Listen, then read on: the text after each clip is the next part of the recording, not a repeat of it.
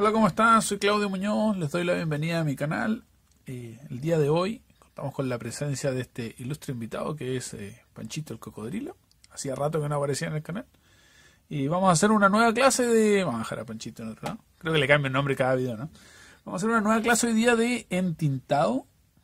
De nuestro curso de entintado. Ya estamos haciendo las últimas clases, creo que quedan tres. Tres o cuatro, una cosa así. Hoy día eh, tengo este dibujo acá porque la clase se va a tratar de cómo hacer cielo, cómo pintar el cielo, cómo dibujar el cielo, entre comillas, porque no se dibuja mucho. Y tengo este dibujo porque es como un ejemplo de, de unas nubes y cosas así, porque lo que quiero es como ver varias opciones de hacer nubes, de hacer cielo y cosas así. Así que la verdad es que la clase de hoy se va a tratar de eh, un montón de ejemplos de cómo dibujar el cielo, cómo dibujar las nubes, cómo dibujar el cielo cuando está despejado, cuando está nublado, cuando está lloviendo, cuando está de noche y esa clase de cosas. Y lo vamos a ir viendo acá, caso a caso. No vamos a tardar mucho, la verdad es que en cada dibujito vamos a tardar 5 minutos, 6 minutos, una cosa así. Así que esto más o menos viene a ser una especie de clase de, de cómo hacer un fondo o una ilustración en 5 minutos. Son puras, puras opciones de cielo. Eh, esta clase sí es medio, medio como un gustito. En realidad como que dentro de un curso de entintado no tiene por qué haber algo tan específico como cómo dibujar el cielo. Pero a mí la verdad es que me encanta, me encanta dibujar el cielo y eh, quería explicar mis teorías y mis cosas que yo he pensado sobre las nubes y sobre la proyección de la luz y esa clase de cosas. Y en algún momento pregunté si a alguien le interesaba y creo que, no sé, hubo por lo menos dos personas que dijeron que sí, así que ya está, con esas dos personas tenemos suficiente. Vamos a hacer una clase sobre cómo hacer el cielo con tinta china o más bien sobre cómo yo, yo Claudio Muñoz, hago el cielo cuando trabajo con tinta china. Uso algunos materiales aparte de la tinta china, generalmente uso témpera blanca, eh, agua y un montón de pinceles.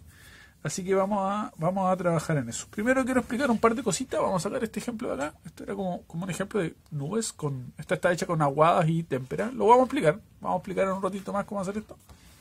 Pero primero quiero hablar de, eh, de algunos conceptos teóricos que tienen que ver con, el, el, con las nubes en realidad. Porque, bueno, el cielo es el espacio de fondo que hay, ¿no? Y el tema con las nubes, creo que nunca habíamos trabajado con lápiz grafito acá en el canal, ¿se ve el lápiz grafito? Vamos a hacerle un zoom. Vamos a hacerle un zoom. Si no se ve, lo vamos a tener que hacer con ti. Sí, sí se ve. Ya, entonces... La verdad es que lo que quiero explicar es bastante simple, tiene que ver con, con un poco con teoría de iluminación esa clase de cosas.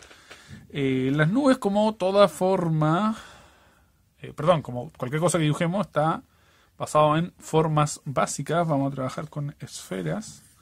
Las formas básicas, como ya todo el mundo sabrá, son tres. Eh, las esferas, los cilindros y los, y los cubos. Pero en este caso nos vamos a centrar en la esfera porque no, no nos vamos a poner a hablar sobre formas básicas. Vamos a hacer dentro de poco, vamos a empezar otro curso en donde vamos a hablar de las formas básicas. Les voy a avisar cuando empiece. Por ahora lo que quiero que entiendan es que dibujar una nube es más o menos como dibujar un montón de esferas así. Esto muy muy abstracto, ¿eh? tómenlo con pinza. Quiero explicar una cosa con la luz. ¿Sí? Como un montón de esferas y vamos a suponer que la luz viene desde aquí entonces, toda esta zona de aquí va a quedar con luz y esta parte de la esfera va a quedar en sombra. Vamos a hacer lo mismo con esta esfera. Si la luz viene desde aquí, vamos a poner toda esa parte en luz y toda esta parte en sombra. Lo mismo con esta otra esfera. Lo mismo con estas de acá. Y con esta otra de acá. Ya, entonces tenemos que nuestra nube tiene todo este sector iluminado como si fuera en esfera. Ahora, ¿qué pasa?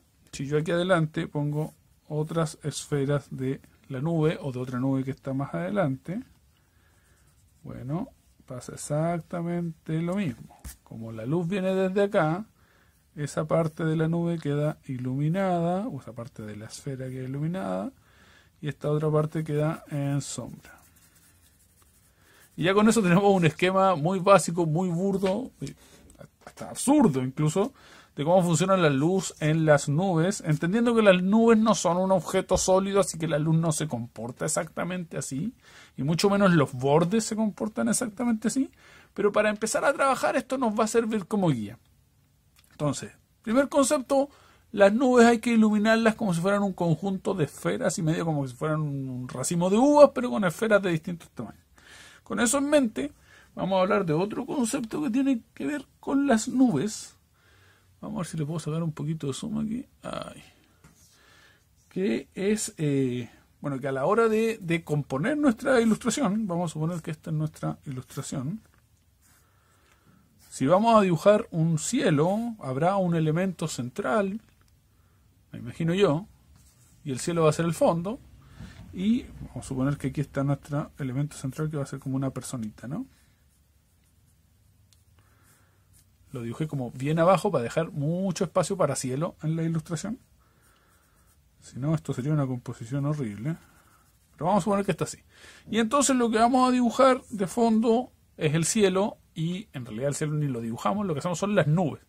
Y entonces lo que, de lo que quiero hablar es que inviertan un poquito de tiempo pensando esas nubes, cómo van a ser, qué, qué espacio de la ilustración van a ocupar, etcétera. Por ejemplo, algunos datos que yo recomiendo siempre es que eh, se pueden usar las nubes como eh, insinuando un plano holandés, por ejemplo, así en diagonal. O se puede hacer eh, el horizonte de toda la vida, diagonal, perdón, horizontal. Si lo hacemos horizontal, esto nos genera o nos da una sensación de mayor paz y calma y tranquilidad en la ilustración. Y si lo hacemos en holandés o en diagonal, nos genera mayor vértigo, velocidad y dinamismo en la ilustración. Entonces, si tú en las nubes o diseñas las nubes pensando esa clase de cosas, teniendo en mente qué es lo que va a pasar. Vamos, por ejemplo, a diseñar acá unas nubes así.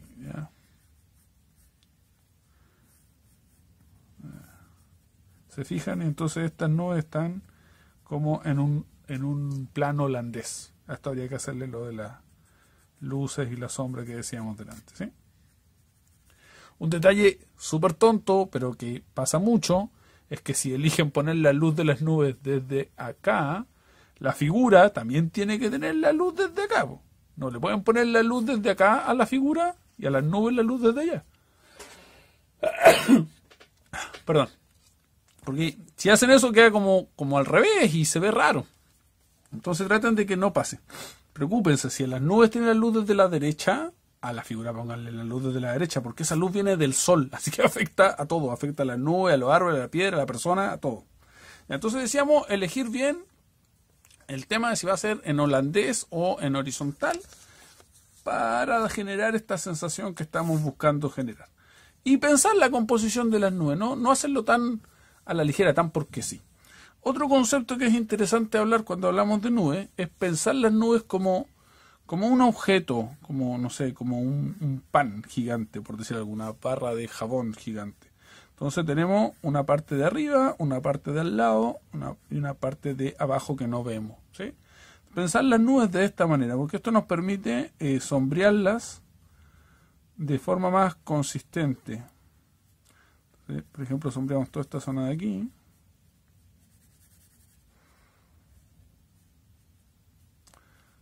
Y eso da una sensación de que es una nube tridimensional. Esto quedó raro, quedó como una campana. Lo vamos a volver a hacer. Entonces decíamos que teníamos nuestra nube ahí y que era como tridimensional, que la zona de acá era como un costado de la nube, por decirlo de alguna manera. Ahí sí. Otra cosa es que las nubes pueden tener una parte de abajo. Si suponemos que esta es nuestra nube, podemos ver esa parte de la nube. Todo esto es súper irreal. las nubes del, si uno mira las nubes del cielo no se ven así. Pero podemos hacer esta parte de abajo de la nube. ¿Sí?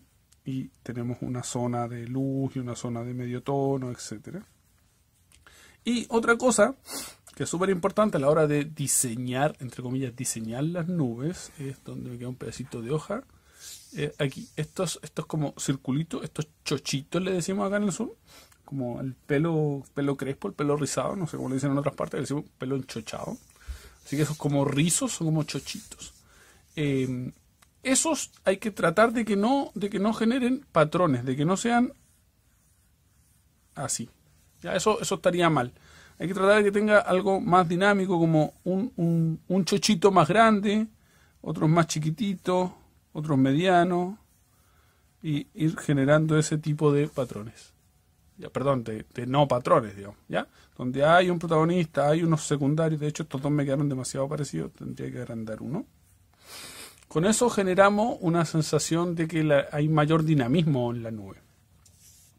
Otro concepto más, estamos hablando de un montón de conceptos, ¿eh? creo que deberíamos irlos anotando. Sí, los vamos a anotar.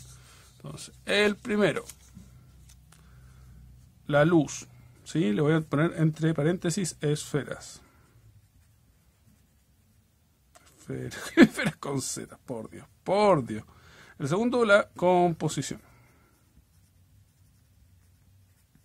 pensar la composición de la ilustración. ¿sí? Las nubes no están de adorno, no hay pensarlas. El tercero, decíamos que las nubes eran tridimensionales. El cuarto, le vamos a poner el número 1, va, estoy anotando por allá. 2, 3, 4. El cuarto era eh, que no haya patrones, no patrones este tema de, lo, de los chochitos, ¿se acuerdan? Y eh, bla, bla, bla. Quinto, quinto no lo hemos visto todavía, vamos a hablar aquí. Eh, los gringos le dicen overlapping a esto. Eh,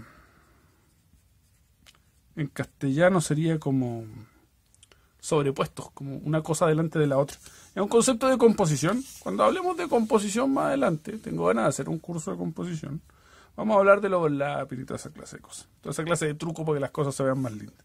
Pero ahora estamos haciendo nubes. Entonces, lo que yo recomiendo es usar el overlapping como herramienta. Si esta es nuestra ilustración y tenemos una nube aquí, una nube como más protagonista, por decirlo así, podríamos poner otra nube más aquí atrás, sea como más lejana, más difusa, y que esté sobrepuesta con esta, ¿sí? que esta pase como por encima y esta nube salga como desde atrás. Como que si tengo, vamos a sacar el zoom. Si tengo, uy, le pegué a esto, se movió todo. Vamos a suponer que ahí está. Si tengo esta nube aquí, la otra pasa por encima. Que no estén separadas, sino que, que pase por encima. ¿sí? Entonces ahí tenemos otro concepto que sería el overlapping. Y un último concepto que me gustaría ver a la hora de diseñar, entre comillas, diseñar las nubes, sería algo que en diseño se llama grande, mediano, pequeño. Lo vamos a notar mediano, pequeño. Y esto se aplica a todo en diseño. Eventualmente vamos a hablar de esto. Tal vez que hagamos una clase para hablar de eso. Pero acá en las nubes basta con entender que si van a hacer una nube grandota, hagan una mediana y una chiquitita, o dos chiquititas, o una cosa así. Eh, atribuirle porcentajes a la cantidad de espacio de la ilustración o a la cantidad de protagonismo de la ilustración que tiene cada objeto. Entonces, si nuestra nube principal va a usar un, no sé, un 60%, un 65% de la, del, del espacio, que va a ser esta. Vamos a tener una segunda nube que va a ser mediana, que puede usar un 30, 40% del espacio. La vamos a usar en overlapping, como decíamos recién. Y tal vez hagamos una pequeña nubecita más aquí, que use un 10, 12% del espacio. Y con eso tenemos un contraste. ¿ya? Este concepto es muy interesante cuando dibujen, no sé, eh, caballos corriendo hacia la cámara, por ejemplo, dibujan un caballo más grande y uno más chiquitito más atrás. Eso genera un contraste muy dinámico, muy interesante de ver, visualmente muy atractivo. En este caso no se compliquen tanto.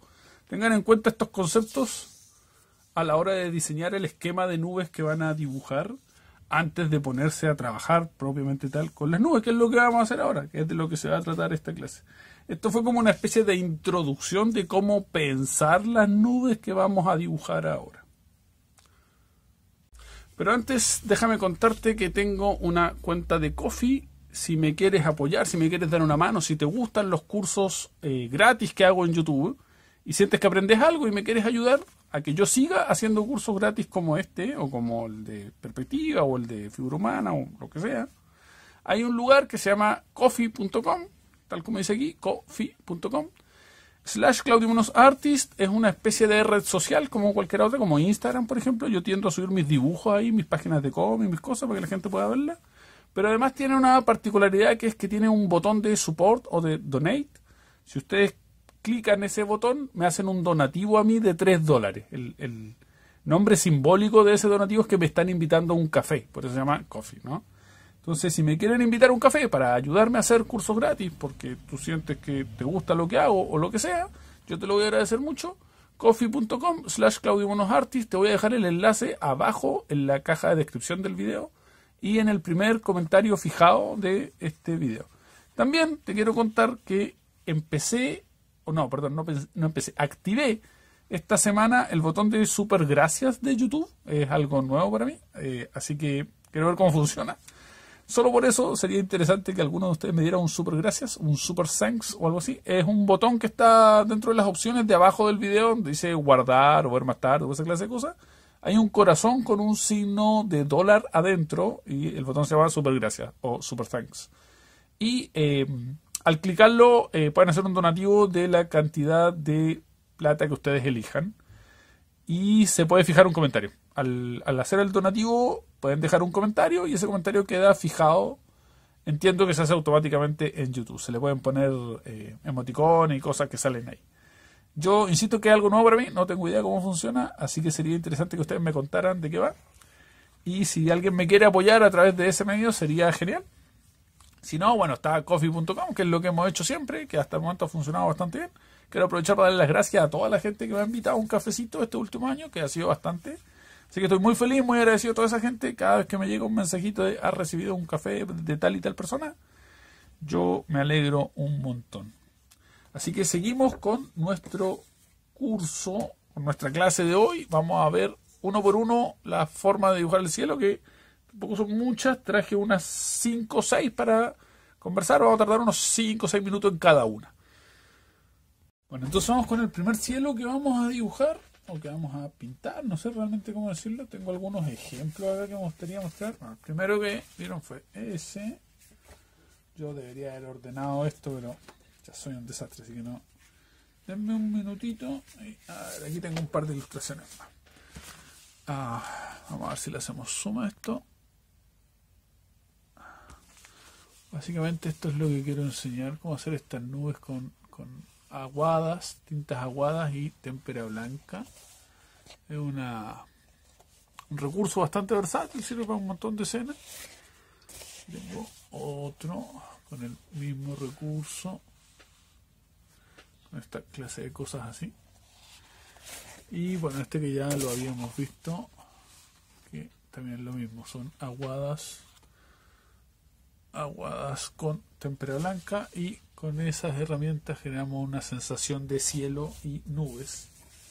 No necesariamente nubes de un día lluvioso, sino que estas nubes como esponjositas, así como de como las nubes que dibuja el estudio Ghibli en, las películas de Miyazaki, algo así.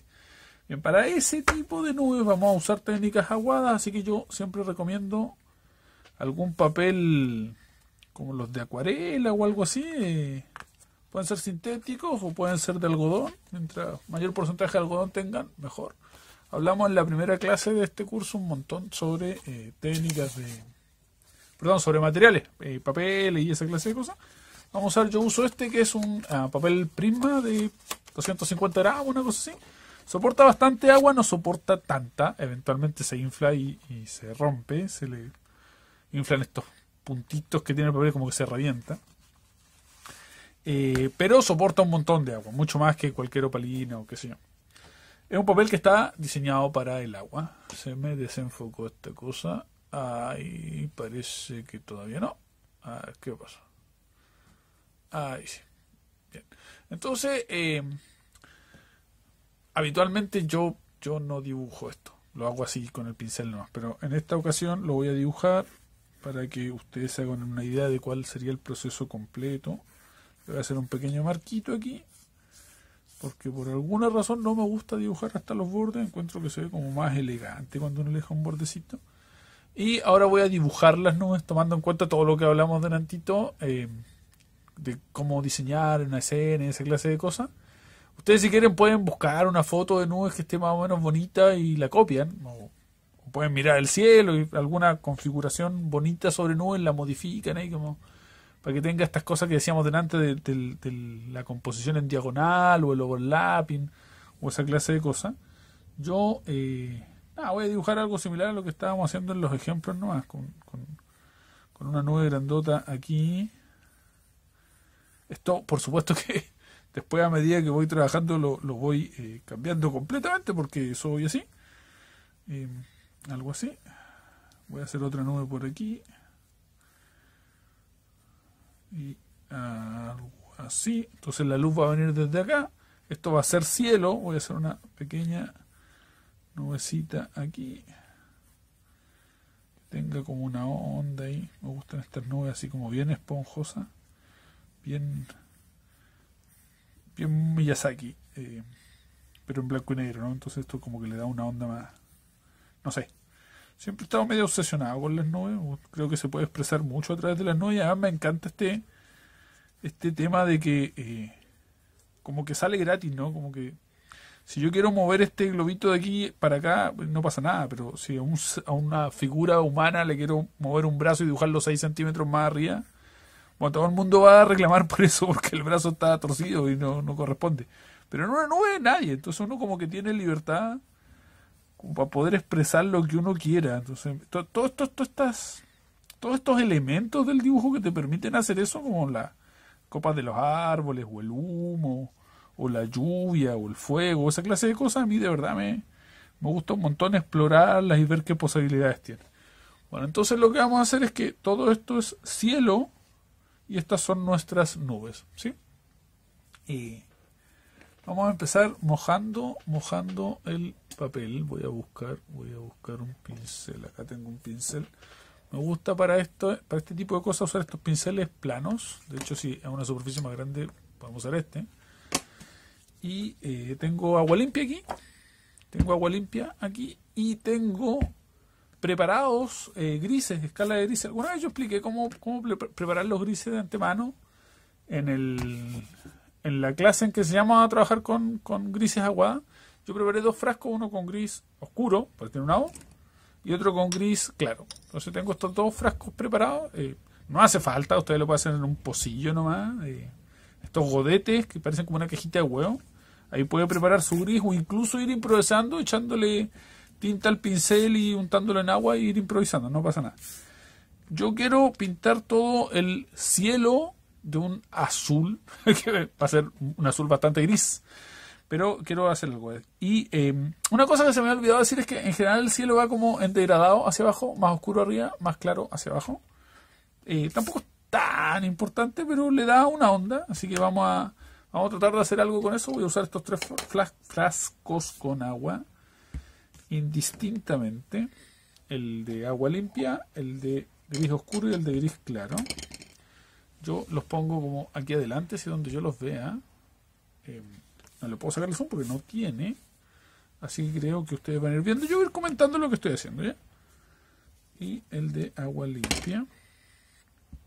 Y bien, lo que, lo que quiero hacer es que... Eh, le paso la luz de esto? porque ahora está tanto? Ah, los frascos, pero ahí está en sombra, obvio. Claro, ahí lo vamos a bajar más lejito. Eh, lo que quiero hacer es que eh, la luz viene desde acá, entonces todas estas zonas de las nubes van a tener eh, luz, van a ser más claritas. Por lo tanto, quiero generar un contraste entre esa zona de luz y el cielo que hay de fondo. O sea, la parte más oscura del cielo va a ser la que choca contra esa parte luminosa de la nube y así genera una onda más, más interesante. Lo que voy a hacer primero es mojar el cielo con agua limpia y bueno, el pincel algo de tinta tiene y el agua también, porque está limpia, pero no tanto. está limpia desde hace varios días aquí, entonces eh, se va ensuciando. Y eh, bueno, voy a, voy a mojar todo el cielo primero, porque eso me permite que después la tinta recorra todos los espacios que están eh, humedecidos. Esto se llama técnicas húmedas. en algún momento vamos a Vamos a hablar del mojado sobre mojado y esa clase de cosas. Adelante. Ando con ganas de hacer un, curso de acuarela negra. como pintar con acuarela, pero sin colores. Y bueno, si lo hacemos, que tengo muchas ganas, vamos a hablar mucho de, de mojado sobre mojado. El wet on wet o wet on wet, que le dicen los gringos. Que es una técnica muy bonita que a mí me gusta mucho. Que uso mucho también. Bien, algo, algo así. Ese habría mojado todo nuestro cielo. Y ahora voy a empezar a trabajar con el gris más oscuro que tenía preparado. Aquí arriba. Y bueno, tiene demasiada agua esto. Tiene demasiada agua, no se va a poner oscuro nunca. Pero bueno, no pasa nada. No pasa nada. ¿Se fijan cómo el gris se va esparciendo solito el pigmento de la tinta? Porque ya está ya está todo el papel humedecido. Vamos a hacer un poco de zoom aquí. Un poco, un poco nomás, no tanto. ahí tengo de pronto un poco mucho. Esta técnica húmeda tiene las ventajas de que uno no se tiene que preocupar de los brochazos, porque mientras esté húmedo el brochazo va a ir desapareciendo con el agua. Así que no pasa nada. Vamos a aplicar acá otro poco. Insisto en que esto está demasiado demasiado húmedo, me quedó demasiado mojado, pero no pasa nada. No pasa nada. Si a usted le, le pasa esto cuando está trabajando y está demasiado húmedo y siente que no va a poder trabajar, hay que esperar un rato que se seque y ya. Y no pasa nada. Le puede pasar un paño si quiere para restarle humedad. Eh, o derechamente esperar que se seque. O eh, tirarle calor con la, con la pistola de calor o con el secador de pelo. Todas estas técnicas las, las comentamos en esa clase de, tintas aguadas de las que hablaba hace un rato. Así que si no se acuerdan mucho de tintas aguadas, vayan y repasen esa clase. En esta clase que estamos hablando de cómo hacer cielo, vamos a hablar de un montón de cosas que ya vimos en las clases anteriores, así que si usted está viendo esta, esta su primera clase del curso, eh, le conviene ir a, a ver las otras clases. Están en, en el canal, en listas de reproducción, curso de entintado. Es, eh, aquí voy a cancherear un poco es el curso de entintado en español gratuito en YouTube más completo que hay. Son 15 horas de, técnicas de entintado ahí gratis. No sé, al menos yo no he encontrado otro. Si usted encuentra otro, coméntemelo. Eh, y si no es el más completo, es el más divertido y el más, no sé, más lo que sea. Bueno, a mí me gusta mucho. Si usted quiere curso de entintado en el buscador, le parece este. Así que estoy súper feliz por eso. Muchas gracias por hacer eso posible, chiquillos, y gracias a todos ustedes. Que el curso se ha posicionado muy bien. Ahí tenemos nuestro cielo más o menos hecho. Ahora nos faltaría trabajar con las nubes. A esto le podemos dar un ratito para que se seque. Pero como estamos haciendo un video no tenemos ese tiempo. Entonces voy a lavar este pincel plano. Y voy a, a sacar el otro pincel con el que vamos a trabajar para hacer las nubes. Acuérdense que los pinceles siempre después de usarlos con tinta china hay que lavarlos de inmediato y secarlos porque la tinta china mata los pinceles muy muy rápido. Es, muy muy asesina de pinceles, mucho más que el mucho más que la acuarela o, que alguna otra técnica. Entonces eh, le voy a disparar un poquito de calor con el secador de pelo. Eh, creo que, le voy a poner pausa a esto porque voy a estar como un minuto tirando viento acá y no puedo hablar por el ruido que hace. Así que nos vemos cuando todo esto seco. Bueno, ahí está, ya lo sequé con, la, con el secador de pelo. Tuve más o menos un minuto disparándole calor. Una cosa que, que se me había olvidado comentar es que de pronto uno puede retocar, después de haber secado o en el proceso de secado, se puede retocar zonas con más agua, con más gris, en este caso gris oscuro. Retoqué un par de partes y otra cosa que se me había olvidado eh, mencionar es que de pronto quedan unos goterones muy grandes y eso con un poco de, papel de cocina o papel de baño, con papel absorbente, esto se unta y la gota de agua desaparece. Fíjense esto que pasó ahí, vamos a hacerle zoom. Eso de ahí Pasó porque había una gota de agua grande y cuando le disparé con el secador de pelo, con la pistola de calor, el aire empujó esa gota y salpicó para allá. Entonces en este caso hacia afuera de la ilustración no pasa nada. Pero cuando ustedes tienen una gota como esa cerca de la cara del personaje, queda horrible. Entonces lo mejor es con papel secante, acá en Chile le decimos confort, pero es papel de baño o papel de cocina, se usa y eh, podemos untar el agua con eso. O con el pincel seco. Si el pincel está seco, lo ponemos ahí en la gota y como que se toma el agüita. Eh, bien, entonces ahora vamos a trabajar en las nubes. Vamos a sacarle un poquito de un poquito de zoom y vamos a ir haciendo nuestras nubes. Lo que queremos es generar una sensación de tridimensionalidad aquí. Son dos nubes, tenemos esta de aquí y la grandota de atrás. Bueno, y la, la chiquitita de Maya. Entonces voy a trabajar con grises medios y oscuros con nuestro con nuestros fresquitos que ya están preparados. Si usted los puede preparar en, en un codete o en un o, irlos preparando en el momento de trabajar, ¿no? juntando el pincel en agua y, con, y, en, y en la tinta. Eh, yo tal vez debería preparar un poquito de tinta por si quisiera alguna zona muy oscura. Oh, vamos a hacer eso. Como siempre yo uso tinta china Speedball Super Black. No me auspicia eh, Speedball. Debería auspiciarme. O Speedball o alguna marca de, perdón, alguna librería o algo así. Podría ser, podría ser. Pero por el momento por el momento no me auspicia nadie, o sea, me auspicio yo mismo y, ustedes me colaboran con los Super Sanks y, la, y los cafés. Eh, pero nadie, ninguna marca me auspicia. Bueno, yo uso entonces Speedball Super Black, la uso porque me gusta, me parece una muy buena tinta, una relación precio-calidad muy buena. Entonces acá puse tinta china pura y tengo mis frasquitos de gris preparado, gris claro, gris oscuro y agua pura y obviamente el papel secante que es súper necesario. Entonces voy a empezar a construir esto como si fueran esferas, pero no, no pensando en que son esferas, sino que pensando en que son nubes. decíamos que los bordes son, son menos sólidos. Entonces no quiero bordes demasiado sólidos. Creo, creo que empecé demasiado oscuro por ahí, pero bueno, no pasa nada. Voy a hacer aquí voy a hacer aquí una especie de, de base o de tono medio para esto, es como el punto de partida, a partir de aquí vamos a ir trabajando. Este papel, como decía, soporta harta agua, así que no pasa nada. Y aquí vamos a tratar de ir respetando esta zona que, le da la luz, pero sin volvernos locos, porque realmente después vamos a trabajar con témpera ahí, así que eh, no hay que preocuparse tanto. Bien, vamos a poner esto ahí es como el tono base de la nube. Ahí. Y vamos a hacer a esta otra chiquitita de acá también. Algo así. Ahí tenemos nuestras nuestras nubecitas. Ahora, si yo quiero contrastar un poco más todavía, por ejemplo, quiero separar esta nube de adelante de esa que está ahí atrás, voy a agregar poco más de oscuridad por esta zona para separar esa nube. Y lo voy a hacer, mientras esto está húmedo, lo voy a hacer derechamente con tinta. No sé si se alcanza a ver ahí. Con tinta. Unté la puntita del pincel en tinta. Voy a dar vuelta a esta.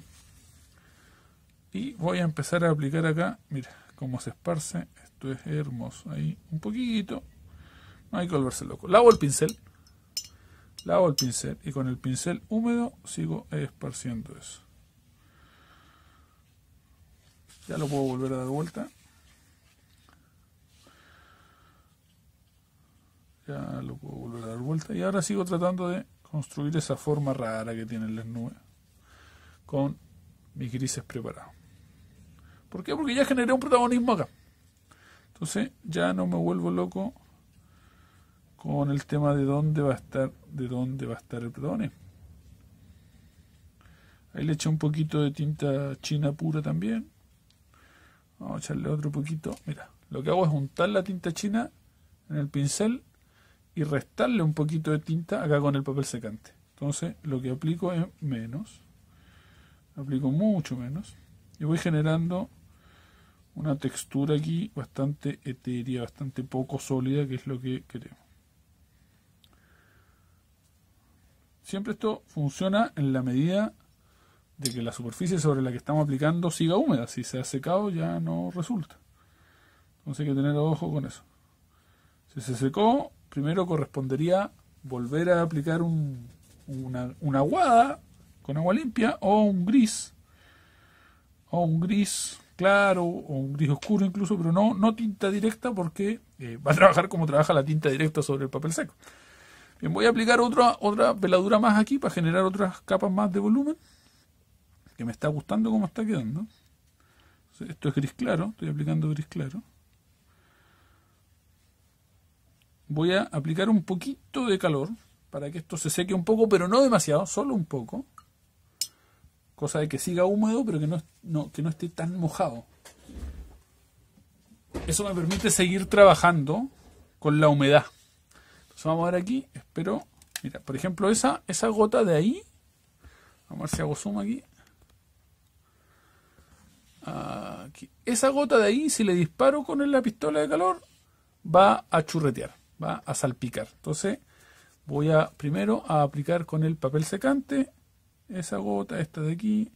Esto me permite también para rescatar algunos toques de blanco, le da una, una textura a la nube. Entonces, ganancia por todos lados. Aquí hay otra gota más. Otra gota más, no sé si lo alcanza a ver la cámara. Pero se fijan que genera una, una textura más blanca ahí porque al restarle agua con tinta rescata el blanco del papel. Bien, voy entonces a aplicar un poquito de calor, un poquito nomás, para que esto se seque pero no demasiado, que siga húmedo. Bien. Y ahora voy con otra capa de gris, de este gris preparado que tengo aquí, para generar... Le falta, le falta. Está muy claro este tono. En realidad no está tan oscuro como a mí me gustaría. Voy a tener que ir preparándolo sobre la marcha. Para eso, para eso, se hace así, mira. Vamos a sacarle todo el zoom aquí porque necesito que vean lo que, lo que estoy haciendo aquí al costado. Entonces, para ir preparando el gris sobre la marcha necesitamos un poco de papel secante. Y además necesitamos un trozo de papel que ojalá sea el mismo papel en el que estamos trabajando, el mismo tipo de papel. Y entonces esto es más o menos así. Yo unto en agua y mido aquí. ¿Qué tan oscuro está?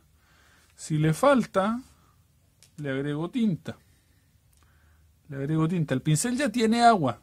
Entonces, al agregarle tinta, esa tinta se diluye. La gasto acá en el, en el papel secante y la pruebo. Mira, ese es el tono que quiero. Cuando llego al tono, recién trabajo aquí. ¿Ya? Eso además se va a diluir con el agua que queda en la ilustración. Y el papel así como está, mira, te lo voy a mostrar de cerquita, así como está, ya está como esta zona a punto de reventarse. Si yo le sigo echando agua, este papel ya no da más y se va a reventar. Eso lo van a aprender a ver o a previsualizar con la práctica. Mientras más trabajen estas técnicas con el mismo tipo de papel, se van a acostumbrar cuando el papel ya está como a punto. El papel medio como que avisa, ¿no? Entonces a este ya no le voy a meter más ahí, en esa zona, porque se va a reventar. Pero voy a seguir trabajando en esta otra zona de aquí arriba, que todavía me parece que le falta una pequeña capa aquí. Todavía me parece que podemos hacer algo más interesante aquí con un poquito más de agua. Le acabo de echar agua limpia el pincel. Ah, y eso me parece súper interesante. Y vamos a hacer algo en esta zona de acá ahora. Que está bastante seca, así que lo primero que hago es mojar el pincel con, eh, con gris preparado. Un gris oscuro preparado. Y ahora le voy echando, le voy agregando negro de la tinta pura. No sé si se alcanza a ver aquí. Ahí voy agregando ahí. Un poquito de tinta pura y como el pincel ya tiene agua sale mira demasiado oscuro le eché más agua ahora. Lo gasto en el papel secante y lo busco. Y aquí voy agregando eso sale demasiado oscuro así que lo que hago es lavar el pincel y agregarle agua. Aquí voy agregando capa tras capa hasta lograr algo que más o menos me agrade algo que más o menos parezca nube. Me faltaría un poquito la nube chiquitita que hay allá Así que vamos a hacer un, tono un poquito oscuro, no demasiado oscuro porque esto al estar más lejos tiene que dar eh, el, tono más oscuro no puede ser tan oscuro como los tonos oscuros de adelante. Eso no es como trabalengua eso, pero bueno, eso es una ley de, del volumen. En algún momento lo, lo explicamos también durante el curso. Vamos a aplicar, vamos a aplicar algunos tonos, algunos pedacitos de tinta más o menos pura aquí. Total, como el dibujo está como el dibujo está húmedo, esa tinta súper oscura se va a desparramar. No va a quedar súper oscura. Vamos a aplicar un poquito más por aquí. Vamos a aplicar un poquito más por acá. Y ya. Mira, por ahí. lo vamos a, achicar un poquito y vamos a empezar a trabajar con témpera ahora. De inmediato voy a lavar el pincel. Y ahora sí que para trabajar con témpera esto tiene que estar seco. Si no, no resulta. o tal vez, no sé, se mezclaría la témpera con la tinta. Es un experimento que no he hecho nunca. Pero es interesante, ¿eh? Me gusta harto experimentar a mí con tinta y esas cosas. Bueno, hemos hecho un montón de clases que son súper experimentales, así que creo que a nadie le cae duda de eso. Vamos a secar acá entonces. Ah, de nuevo le voy a poner pausa porque lo voy a secar bien con el secador. Bueno, ya está, ya se secó. Y ahora empezamos a trabajar con témpera blanca. Yo generalmente uso ah, Sakura. Sakura Poster Color. Poster Color es la, la témpera y el Poster Color son lo mismo. Eh, uso Sakura, pero a veces uso Pentel también. La verdad es que son un poquito diferentes. Sakura es un poquito superior, pero para esto que vamos a hacer en realidad no es tanta la diferencia. Así que si en algún momento van a la librería y la Sakura está, no sé, el doble, compren Pentel. ¿no? De otras marcas, la verdad es que yo no, no recomiendo porque no las he probado. Si estas son témperas profesionales, no es témpera de uso escolar. Entiendo que ni siquiera son lo mismo. La témpera de uso escolar se llama igual nomás, pero no es témpera. Es otra cosa. Y pincel, voy a usar un pincel eh, maltratado. ¿Se acuerdan de estos pinceles eh, que yo usaba para hacer árboles, ramas, esa clase de cosas? Bueno, tengo uno especialmente para la témpera blanca para hacer nubes. Y vamos a empezar a trabajar. Le voy a hacer un poco de zoom aquí para que ustedes vean lo que voy haciendo. Esto se trabaja un poco por capa. Podemos usar un poquito de agua también. Para ir mezclando la témpera con agua yo uso unas tapitas. Se las voy a mostrar enseguida. Yo uso estas tapitas. Le vamos a sacar el zoom. Pon el zoom, saca el zoom, pon el zoom, saca el zoom. Yo uso estas tapitas que son tapitas de papa frita, de, de estos tubos de cartón donde vienen papas fritas dentro. Cada vez que como uno de esos tubos, me guardo la tapita porque las uso para pintar con témpera. Y lo que hago es diluir acá la témpera con un poco de agua. También tengo un frasco con agua para témpera, que es como para lavar el pincel ahí. Porque si uno lo lava en el pincel donde está el agua con tinta, bueno, el pincel más que lavarse se ensucia.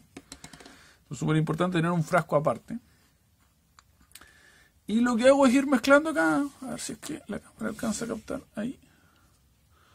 Ir mezclando acá, le echo témpera aquí y agua aquí hasta lograr una consistencia que me guste. Y eso es todo.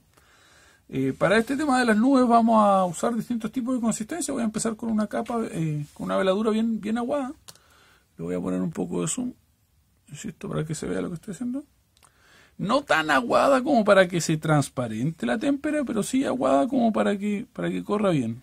Esta, esta quedó un poquito transparente, no me molesta para nada pero la puedo pesar echándole más témpera encima. Y eh, esto se puede raspar con el dedo así.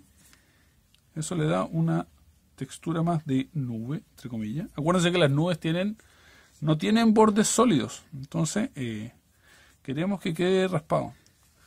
¿sí? Queremos que quede así. Ahora, eh, me estoy dando cuenta que la témpera está muy líquida, así que no voy a mezclarla con la tapita. La verdad es que como viene la témpera en el frasco nomás, ya me sirve y la voy a ir raspando con el dedo y con el pincel así bien maltratado. Y voy a ir generando esta sensación de tridimensionalidad que quiero. Bien otra cosa es que para que quede así raspado el pincel no tiene que tener mucha témpera. Y hay que ir echándole un poquito de témpera nomás en la punta. Y eh, si sale mucha hay que gastarla en otro papel. Gastamos un poquito el punto es que para que tape bien, sí necesita tener harta témpera. Entonces hay que ir jugando un poquito con eso. Voy a ir echando un poquito más aquí. La témpera se seca relativamente rápido. Así que hay que trabajar más o menos rápido. O, bueno, aplicar una veladura encima. Una característica que tiene la témpera es que nunca, nunca se fragúa. Una vez que se seca, pueden pasar años y si uno le vuelve a echar agua, la témpera sigue trabajando. Entonces es algo bastante interesante. Creo que le voy a sacar el zoom porque voy más rápido de lo que me acuerdo de mover la hoja. bueno, decía yo que era una característica bastante interesante de la témpera, pero bueno, para este caso no nos interesa porque lo que estamos es usando la témpera como para retocar algo, ¿no? Muy poquito. Entonces aquí vamos a hacer una chuchería aquí para que parezca que hay una nube ahí. A mí esto me va me va gustando bastante. Fíjense que el dedo se va se va tapando la ranura de la la ranura de la huella digital se va tapando con témpera. Eh, ahora ahora la estoy encontrando un poco espesa, así que voy a usar de nuevo esta cosa para echarle agua. se me pasó la mano, la vamos a secar aquí. me pasó la Ahí tengo el papel secante, donde voy quitándole un poco de humedad. Vamos a ver qué pasa. Vamos a ver qué pasa. Acuérdense que esta es nuestra nube protagonista. Mira, aquí, aquí también estaría interesante hacer otro de estos como filetitos de nube así. A ver qué pasa ahí. En esto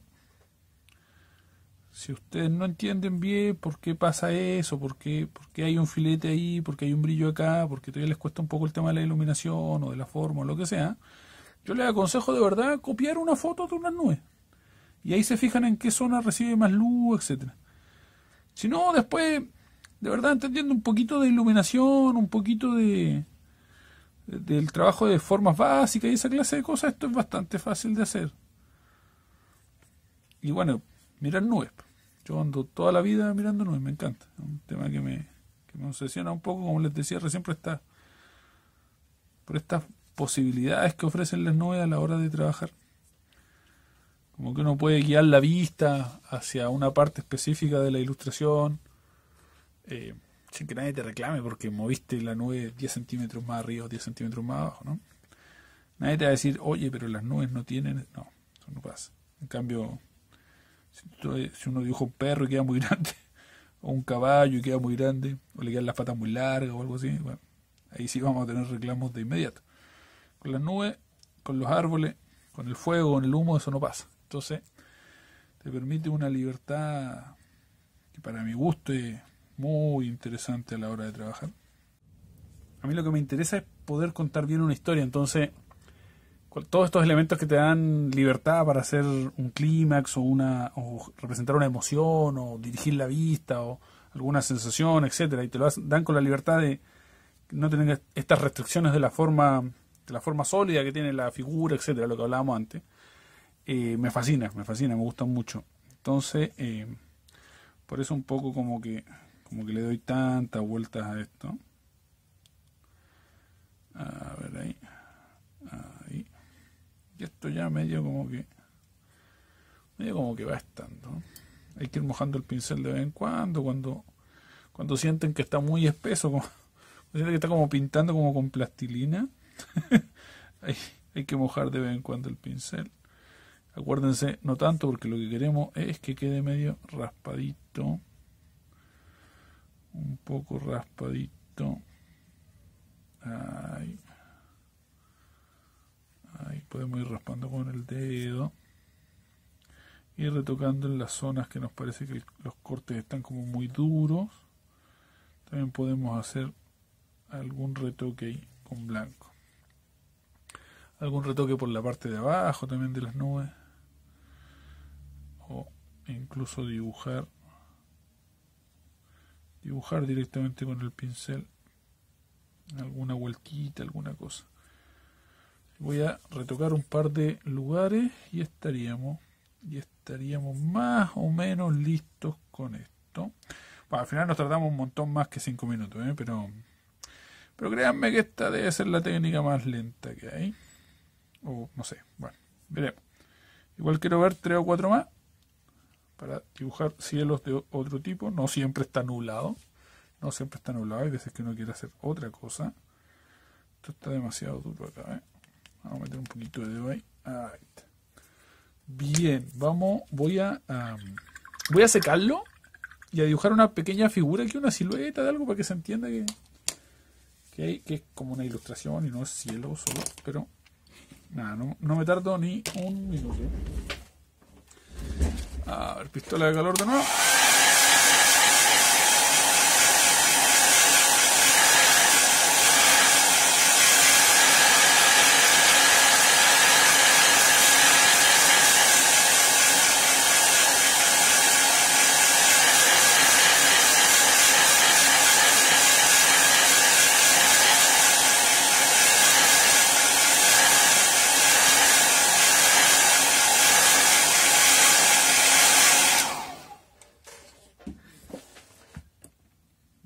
Estaría el cielo, lo voy a mostrar así, tal cual. Puros manchones, todo esto es súper abstracto, súper impresionista, como a mí me gusta dibujar en general, pero funciona, funciona muy bien. Lo vamos a contrastar, decía yo, con una pequeña silueta. Esto, realmente ya no tiene nada que ver con dibujar en nube, ¿eh? pero se me antojó como el, el diseño que hicimos al principio tenía una silueta y qué sé yo. Vamos a tratar de hacer algo aquí bien a la rapidita. Va a tardar un segundo. Un segundito. Vamos a hacer algo aquí. A ver, se ve. Vamos a hacerle un poquito de eso. Ahí. Vamos a hacer algo aquí.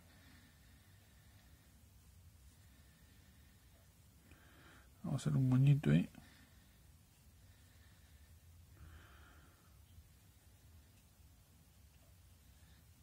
Un pelo. Así. Se volvió loco Claudio, ¿qué está dibujando? Estoy dibujando a Lautaro, un toki mapuche, personaje de la historia de Chile que hizo un cómic no hace mucho. Entonces se los voy a mostrar ahora, pero primero quería dibujar esta silueta para que se viera más bonito y para que estas nubes tengan sentido. Porque como les digo yo, me considero más un contador de historia, autor de historietas, más que un ilustrador, a pesar de que hago arte e ilustración, a pesar de que amo la ilustración. Incluso cuando hago ilustración, me gusta más eh, contar una historia con la ilustración más que poner al, al tipo ahí en primer plano señor Badas. Un señor Badas. Vamos a ocupar este pincel gordo aquí para rellenar esto rápido. Se fijan, esto es lo que le decía de las témperas adelante, que con la humedad la témpera siempre vuelve a trabajar, aunque hayan pasado 10 años. Aquí en realidad pasaron 5 minutos, pero la témpera sigue trabajando. Eso es bueno y malo. Hay que aprender a, a vivir con eso. Me imagino que deben haber fijadores y cosas así, pero no, no he probado. Ahí está. Entonces vamos a lavar estos pinceles. Vamos a lavar estos pinceles. Y les muestro cómo quedó esta pequeña ilustración. Que bueno, la tinta todavía está brillando ahí. Se fijan que tiene, tiene toda esa onda como como impresionista este trabajo. Son como manchones de blanco, de gris y cosas, y da la sensación de ser unas nubes en el horizonte y qué sé yo. Sobre todo con la silueta en primer plano. Bien, este es el primer, el primer eh, estudio que hacemos sobre cómo pintar cielo con tinta china. Vamos a hacer tres o cuatro más, así que vamos allá de inmediato. Pero primero te quiero hablar sobre este cómic, sobre Lautaro. Es un cómic que si vives en Chile lo puedes comprar en cualquier librería del país y si no, si estás fuera de Chile, en eh, Mercado Libre creo que se llama, o algo así. Y si no, en tiendasm, tiendasm.cl, que es la editorial que publicó el libro, es un cómic de de Lautaro, que es un, un toqui mapuche. Los mapuches eran el pueblo eh, originario que había acá en Chile a la llegada de los españoles. Y esta es la guerra de conquista. Eh, los mapuches ganaron. Fue el único lugar, supuestamente, del mundo en donde los españoles tuvieron que firmar un tratado de paz. El rey de España firmó un tratado de paz con, el pueblo originario que aquí vivía. Entonces nosotros hicimos una historieta recreando esta, esta historia que es como bien William Wallace, bien corazón valiente y eso. Y estamos muy orgullosos. Así que si te interesa adquirir este libro, SM tienda, sm.cl eh, perdón, smtienda.cl o en cualquier librería del país si es que estás dentro de Chile. Ahora sí, seguimos con el siguiente, el siguiente estudio de cielo. Bueno, lo que sigue, vamos a hacer un, eh, un cielo nublado, así como que esté a punto de largarse a llover o, que ya esté lloviendo fuerte. Que es un cielo que a mí eh, personalmente me gusta mucho porque, bueno, vivo en una zona muy, muy lluviosa.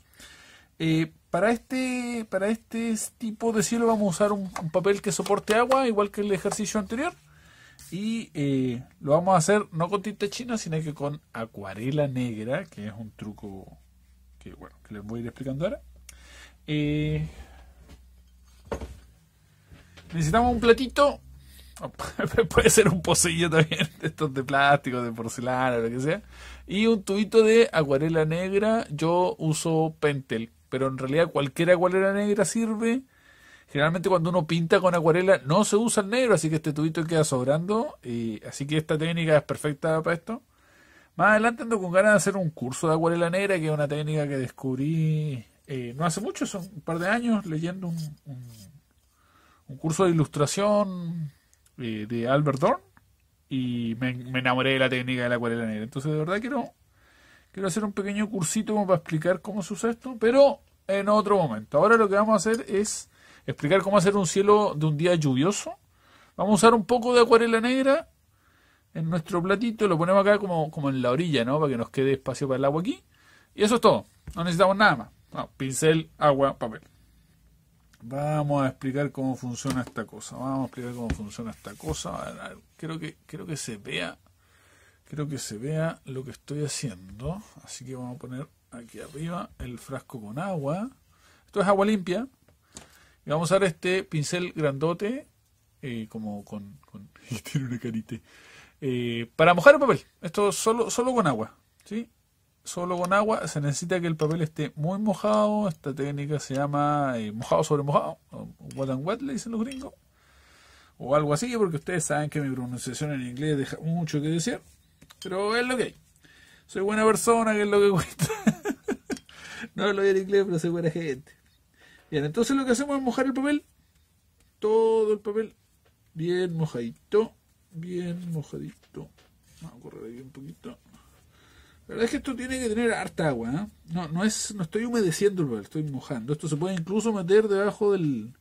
Aquí en Chile le decimos llave al grifo, a la, cosa de donde sale agua en la cocina o en el baño. No sé cómo le dicen en otros lados, canilla, grifo, que sea, dispensador de agua. Eh, se puede meter el papel ahí debajo, y abrir la llave, que chorree agua y ya. Pero a mí me da flojera ir para allá. Así que lo hacemos así con un pincel grandote como este y le echamos agua. Ahora, como esto está muy mojado, tenemos más o menos tiempo para trabajar porque esto se va a tardar en secar. Pero tampoco hay que relajarse tanto. Y lo que voy a hacer es que voy a usar la acuarela y un pincel más o menos grande. Para que se hagan una idea, el pincel que yo uso habitualmente es como de este porte. ¿Sí? Este es el, número 2 de toda la vida con el que entinto. Y voy a trabajar ahora con este pincel. ¿sí? Un pincelote. Este no le veo el número, pero está borrado, pero debe ser un 12, un 14, una cosa así. Y este de toda la vida es un número 2. más o menos esa es la relación. Bien, voy a entonces aquí a, con la acuarela con agüita y como que tomamos un poquito de acuarela aquí y acá la diluimos. Entonces tenemos un gris, entre comillas, porque esto es un negro diluido que lo que hace es rescatar el blanco del papel. Y eso nos da un gris.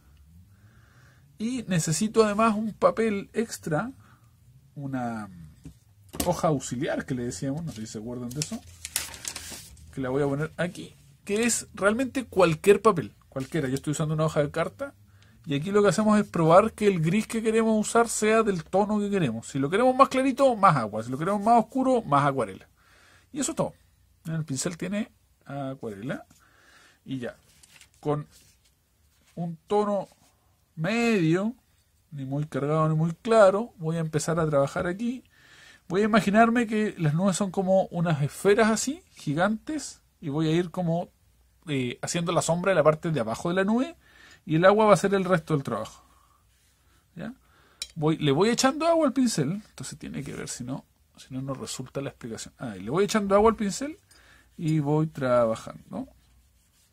Siempre un truco para esta técnica es que siempre la parte de, de, arriba de la ilustración o del cielo que estamos haciendo sea como más oscuro y vamos como aclarando hacia abajo las nubes.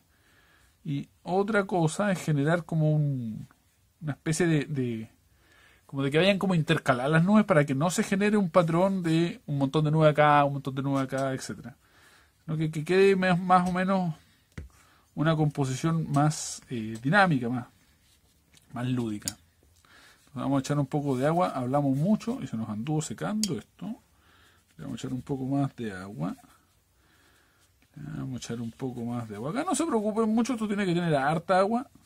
Por eso tiene que ser un papel de acuarela, si no, esta técnica no funciona, porque el papel de tinta se revienta con tanta agua. Y bien, ahora que está bien mojado, entonces vamos a empezar a darle forma a nuestro cielo nublado, nuestro cielo lluvioso. Y lo, lo realmente atractivo de esto es que el agua hace gran parte del trabajo. Nosotros como que como que damos las directrices y en realidad la acuarela y el agua como que se mandan sola y hacen lo que quieren. Y eso es como muy genial. Esta técnica de repente cuesta un poco dominarla de primera porque bueno, la acuarela es así, pero una vez que le agarran mano es muy fácil, muy rápida. Y de verdad da unos resultados súper interesantes que como son tienen un porcentaje de azar muy alto, a mí me gusta mucho porque es un poco como irrepetible el tema de, hacer dos veces el mismo cielo, entonces le aporta mucha variedad al trabajo. Y bueno, ustedes saben que yo soy un fanático de la variedad en el trabajo. Mientras más variado, mientras más, impronta propia tenga, mejor. Y ahí lo vamos a dejar. Lo vamos a dejar que el agua siga haciendo su trabajo. Yo no le estoy echando acuarela, solo le estoy echando agua. Si en algún punto necesitan limpiar un poquito, pueden eh, secar el pincel con papel secante, lo lavan limpio, lo secan y con el pincel bastante seco lo pasan por la ilustración y así como que el, pincel como que se toma el agua y rescata un pedacito de blanco y eso hace que quede más clarito y le aporta luz a esa zona. Si es demasiado y necesitan un montón de luz, les conviene hacerlo derechamente con el papel y cortan un poquito de agua. Por ejemplo, vamos a cortar aquí un poquito. ¿Se fijan? Ahí. El tema es que si lo hacemos así, eso queda de plano seco. Entonces hay que agregar un poquito de agua después con el pincel para que no, para que no se vea tanto el corte. Aunque quedó bastante bonito. Le vamos a echar aquí otro poquito. O sea, le vamos a echar, le vamos a sacar otro poquito. Acá también otro poquito. Bien, mientras esto siga húmedo, la acuarela sigue trabajando, se sigue mezclando, se sigue fundiendo. Entonces nosotros la podemos dejar ahí un rato y mirarla a ver si es que está como queremos. Y si no, podemos seguir trabajando acá. Le acabo de echar más acuarela. Podemos seguir trabajando acá. Y esto va a seguir eh, mezclándose con lo, con lo que ya tenemos en, la pieza. Yo decía que es mejor que el cielo esté, eh, perdón, la parte de arriba del cielo esté más oscura siempre cuando hacemos un día lluvioso. Bien, esta acuarela sigue trabajando, se sigue esparciendo, se sigue mezclando. Lo cual a mí me parece fascinante. voy a echarle ahora un poquito con el pincel mojado, sin, sin pigmento, sin acuarela, solo con agua, porque en esta zona en donde sacamos con el papel, que quedó como cortado y no, la verdad es que no me gusta que quede cortado, me gusta que quede como fluido y continuo. Entonces yo prefiero sacar con el pincel, con el pincel seco, lo seco en el papel y como que el pincel se tome un poquito un poquito de esa agua y eso queda más clarito. Bien, ahí lo vamos a dejar que se funda un poquito, esto puede tomar un minuto. ¿Qué pasa? Que si lo secamos, deja de trabajar, deja de moverse, deja de fundirse y en ese punto así se queda, ¿no? Entonces, eh, mientras no esté como uno quiera, es preferible seguirlo esperando. Le voy a echar aquí otro poquito de tinta. Ahí. Ahí. Si lo vamos a dejar un minutito. Un minuto, ah, un minuto es un minuto, no, no es cinco ni diez minutos, nada. Esto se, se hace muy, muy rápido. Que es la ventaja que tiene la acuarela, que es la ventaja que tienen las técnicas mojadas en general. Bien, más o menos, más o menos, por aquí creo que le falta un poquito. A ver, le vamos a sacar aquí. Ahí. Le vamos a sacar aquí otro poco ahí. Hay que ir tratando de darle una forma a esto que parezca nubes. Si viven en un lugar en donde no llueve mucho, pueden buscar fotos en Google de cielo nublado. Si viven en el sur de Chile o en el sur del mundo, como es mi caso, aquí llueve 10 meses por año, así que básicamente uno mira por la ventana y el cielo está así. Tenemos el modelo al lado. A mí me encanta este cielo. Debe ser una cuestión medio nostálgica, no sé de qué. He visto este tipo de cielo toda la vida y qué sé yo. Pero esto aporta también, desde el punto de vista dramático, aporta eh, a la narración. Cuando estamos haciendo una historieta y el cielo está nublado, tiende a ser una escena más triste, más nostálgica, más que sé yo. Ni hablar de la lluvia, cuando está lloviendo ya es derechamente una escena triste. Entonces esto nos puede ayudar con el dramatismo de la historieta. Voy a, voy a hacer un pequeño zoom para que se vea esto de más cerca. Ahí. Porque quiero que vean este proceso medio mágico que pasa cuando se seca. Así que no voy a adelantar el secado. No lo voy a adelantar. Lo, van a tener que escuchar el secador así como... Sí, voy a aplicarle secador de pelo. Eh, porque de verdad esto como que se va transformando y es mágico. Así que ahí va.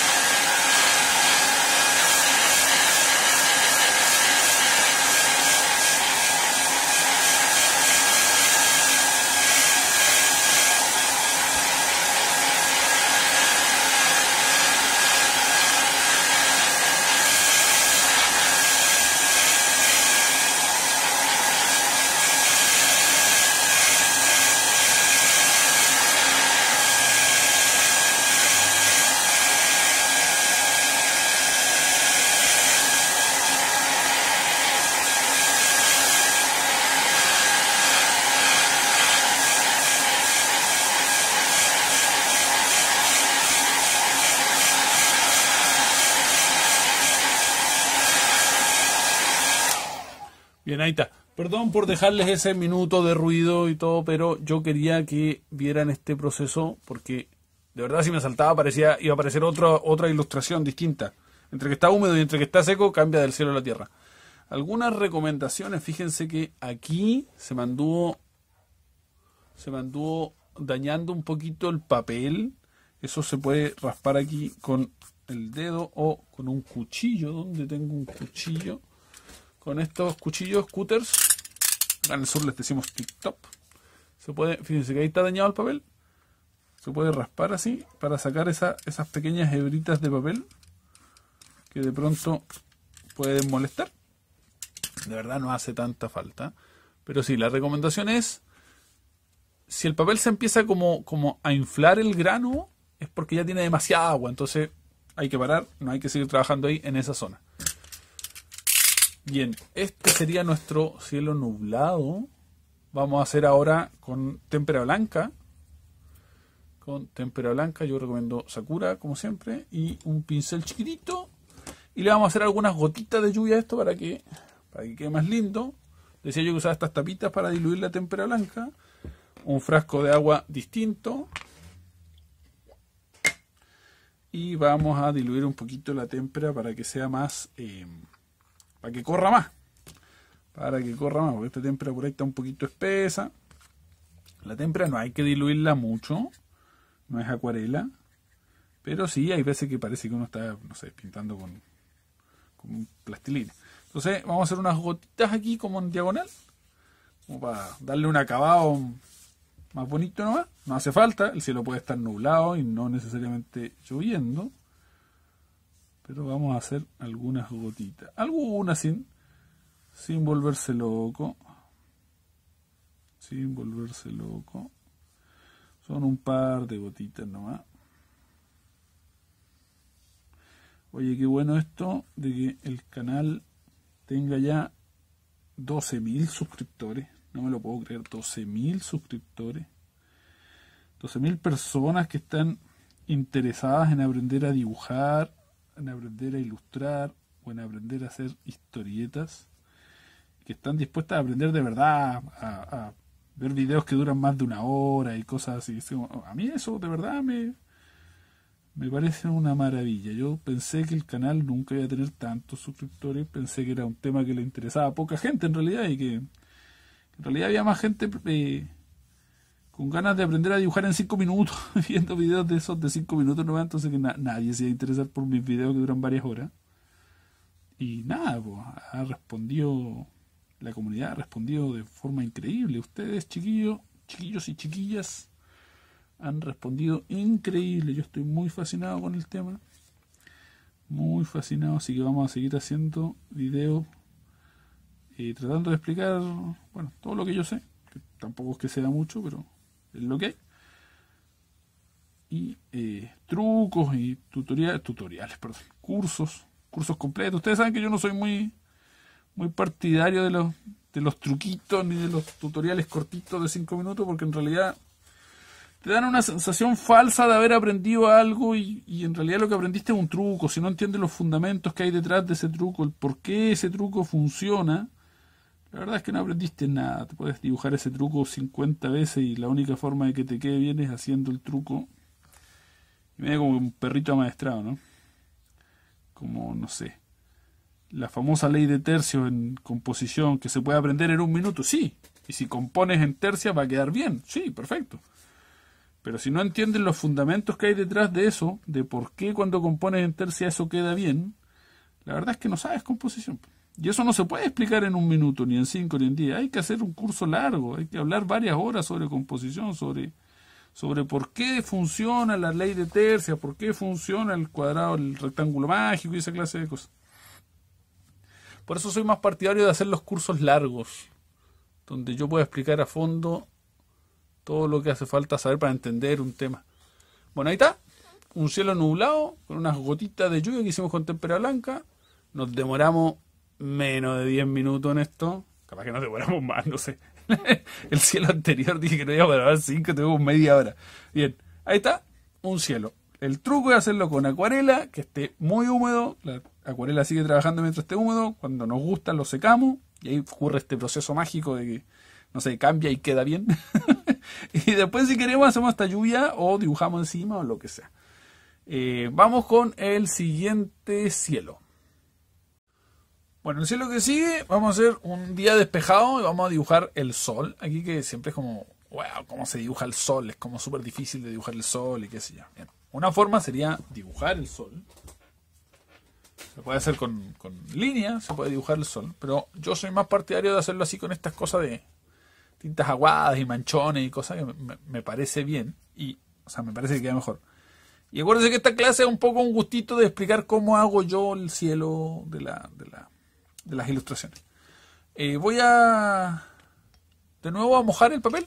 De nuevo es un papel de acuarela para que soporte harta agua porque esta técnica también es con harta agua. Lo que quiero hacer es generar un gris plano aquí, cosa que dé la sensación de que es un cielo azul que está despejado. Habíamos hablado de que podía ser cuando hacíamos un cielo, podía ir, ir en degradado, más oscuro arriba, más degradado hacia abajo, pero la verdad es que eso no es tan importante. Lo que quiero hacer es generar un gris plano que dé la sensación de ser un cielo azul despejado. Nada más. Aquí si le echo menos agua que la vez anterior. Si le están echando agua y sienten que tiene mucha agua, pueden secar este pincel. Lo secamos. Lo secamos y con el pincel seco le volvemos a pasar al papel y entonces, aunque esté húmedo, hay que unas mugrecitas ahí. Siempre esas hay que sacarlas porque después ensucian y te complican la vida, así que lo mejor es sacarlas antes de trabajar. Entonces, eh, aunque el pincel esté seco y se toma un poquito de agua, el papel sigue húmedo, que es lo que queremos ahora. Y lo que voy a hacer es con este pincel, el pincel grueso, pero no tanto como el otro, ¿sí? no tan grueso como este otro, voy a aplicar un, un gris, una tinta china diluida. Tinta china, aquí está. Ay, no se ve ahí está, diluida en agua para hacer un gris plano. Y eso es todo. Y eso es todo. Esto tiene que mantenerse relativamente húmedo. Relativamente húmedo. Acuérdense que el agua del papel ayuda a fundir este color, así que no, no es tan difícil. Le voy echando agua porque me quedó un poco oscuro. Pero la verdad es que esto es bastante fácil de hacer.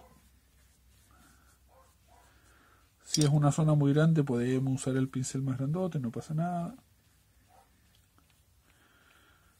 Pero, pero la verdad es que ni siquiera estamos apurados en esto porque como el papel está húmedo, nos permite trabajar tranquilo.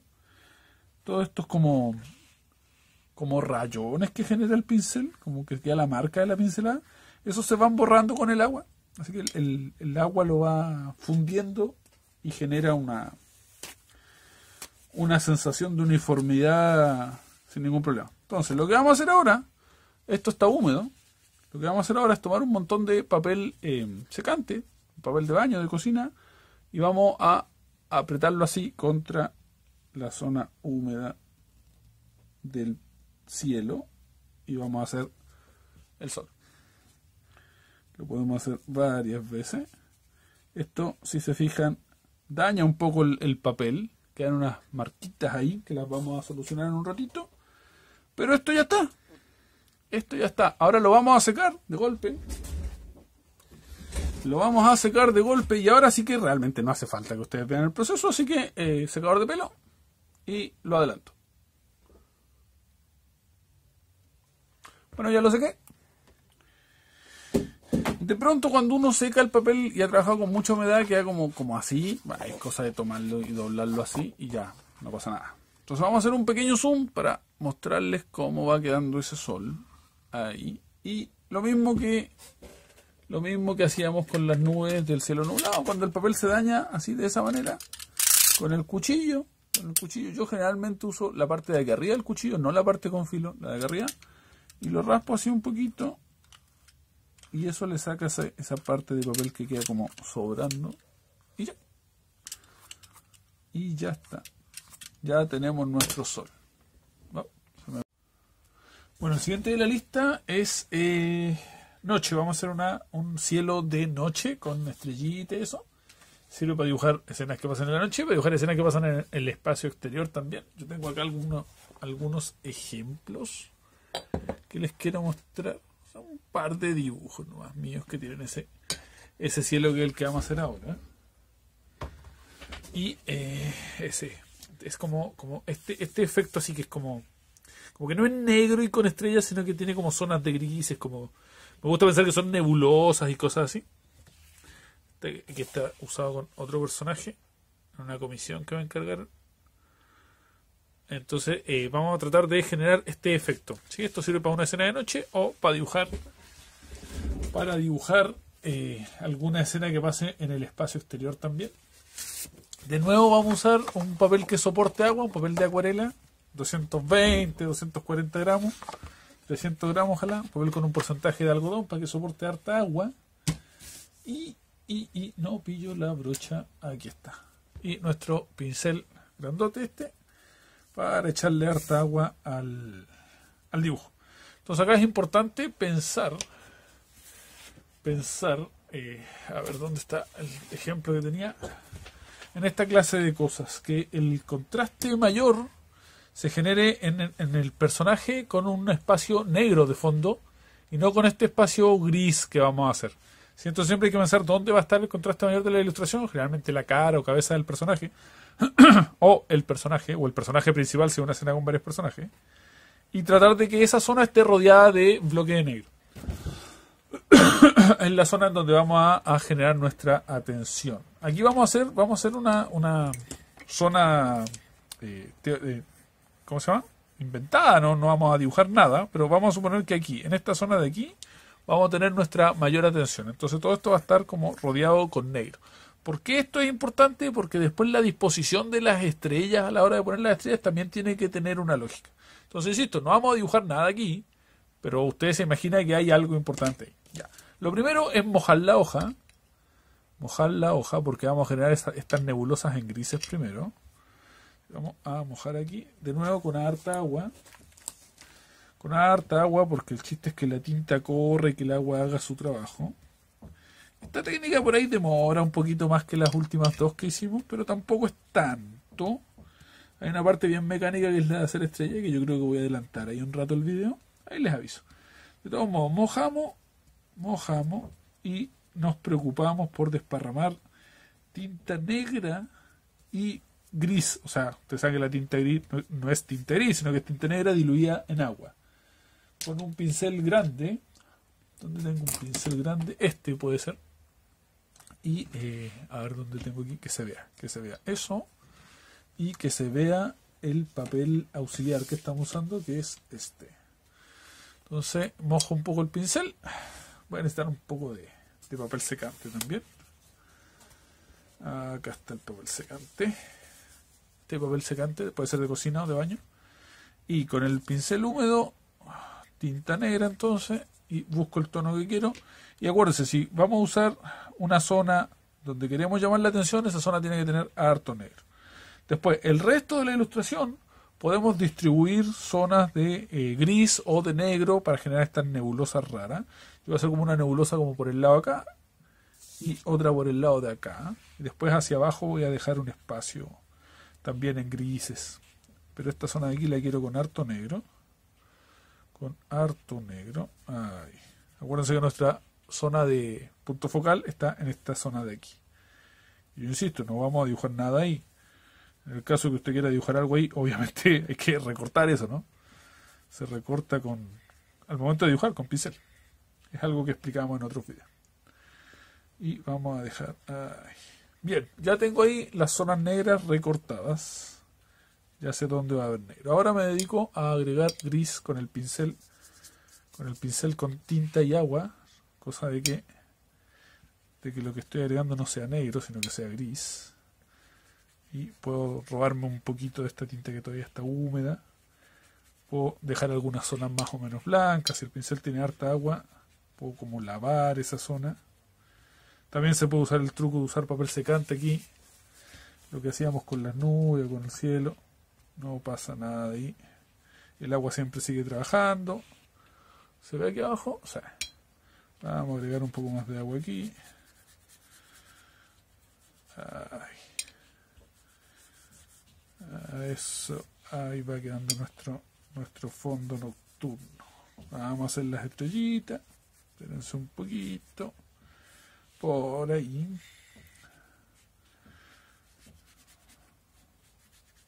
Bien. Ahora cuando todavía está húmedo, voy a agregar un poco más de negro, de tinta negra, en las zonas de mayor interés para que contraste mejor aún. Es importante que todavía esté húmedo porque así la tinta se desparrama. Si ya se secó, mejor no seguir agregando nada porque va a quedar recortado, no se va a desparramar, no se va a difuminar, no se va a fundir así como hace ahora. Ok.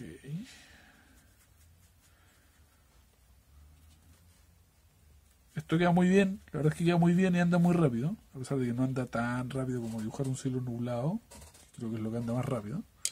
Pero la verdad es que anda muy rápido. Para hacer un fondo, se va a hacer un fondo de una ilustración en un ratito. 10 minutos, 15 minutos. Y tienen el fondo resuelto. Es lo bueno de casi todos estos cielos que estamos haciendo. Primero que quedan muy bien. Que le aportan un, un sello de distinción también al trabajo porque porque en general estos cielos así raros no se hacen mucho como que los ilustradores tienden a, a dejar el fondo al color, que la noche le haga el color, que la nube le haga el color, etcétera. He visto incluso que usan fotos de cielo, que está bien, no, no, pasa nada, no tiene nada de malo. Pero en mi caso me gusta buscar esta, esta distinción, que el, que el trabajo que hagamos se distinga del del resto en algo. Eh, y esta es una herramienta relativamente fácil y rápida y nos permite hacer una distinción con nuestro trabajo, nos permite distinguirnos del resto muy rápidamente, muy fácilmente. Eh, insisto en que es como yo hago los cielos. ¿ah? Esta clase entera es como yo hago el cielo, no es que así se tenga que hacer. Em, em, básicamente porque, porque me gusta mucho. Me gusta mucho hacer cielo, es una de las cosas que más me, me llama mucho la atención a la hora de trabajar. Creo que lo he dicho como 10 veces en este video. Pero lo voy a seguir repitiendo hasta, hasta el hartajo. Me gusta mucho esta libertad que te otorgan este tipo de elementos dentro de la ilustración. Lo voy a sacar lo voy a sacar, así que esto va a ir en, en, cámara rápida o en pausa, para que ustedes no tengan que escuchar el ruido del secador. Bien, ahí está, seco. Ahora que está seco, muy importante, cuando está seco, empezamos a trabajar con las estrellitas. Y lo primero que hago yo, con témpera, ¿no es cierto? Con témpera, vamos a ver esto de aquí. Témpera blanca, es preparar témpera para trabajar con el cepillo un cepillo de dientes blanco, o sea, no, el cepillo no es blanco, sino que, lo uso solo con témpera blanca. Nunca uso el cepillo, este cepillo con tinta negra. Para la tinta negra tengo otro cepillo que en este momento no lo encuentro, así que ah, acá está. Este es el de tinta negra. Que uno para tinta negra, uno para tinta blanca. En este caso solo vamos a usar el de tinta blanca, así que guardamos el de tinta negra. Este en realidad es témpera blanca, pero la témpera hay que prepararla. Si la usamos así como está, no sirve. Hay que prepararla con agua, hay que diluirla un poquito. Aquí, muy importante, hicimos una clase de, de cómo trabajar con cepillo, creo que se llama Splatter, está en una de las clases de este mismo curso, el curso de intintado. Vamos a hacer el truco de la tarjeta. Te lo voy a dejar aquí en la tarjeta. y si se me olvida dejarla, ustedes la buscan en la lista de reproducción del canal.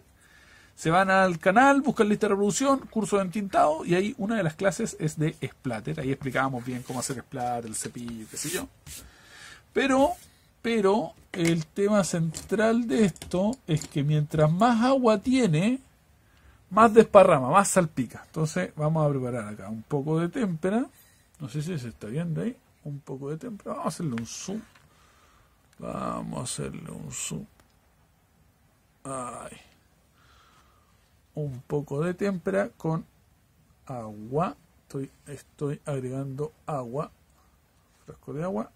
Témpera. Nada más. Agua con témpera. Eso es todo. Es importante la consistencia de esto, si no, no funciona. Si no, no funciona. Tiene que tener cierta cantidad de agua. Obviamente, ustedes esto tienen que probarlo antes en una hoja auxiliar. No se puede llegar y trabajar sobre la ilustración que estamos haciendo. Vamos a sacar el zoom para que esto tenga sentido, para que se vea el papel auxiliar y todo eso. A echar un poquito más de agua, porque lo encuentro muy espeso. ¿Cómo saber qué tan espeso tiene que estar? Y bueno, eso es práctica. Tienen que hacerlo un par de veces.